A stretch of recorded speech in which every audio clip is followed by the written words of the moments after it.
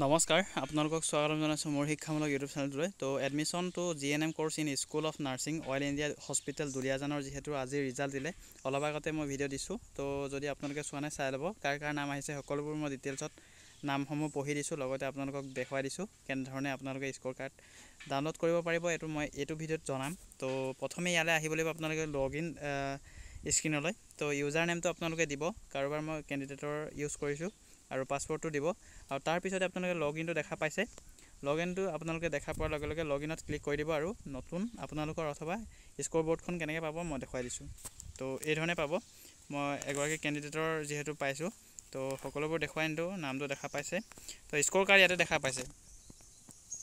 Score card new বুলি ইয়াতে ঘূৰি আছে। তো তাতে ক্লিক কৰিলে আপোনালোকে স্ক'ৰ কাৰ্ডখন ডাউনলোড কৰিব পাৰিব। চাই ল'ব কেনেধৰণে কৰিব।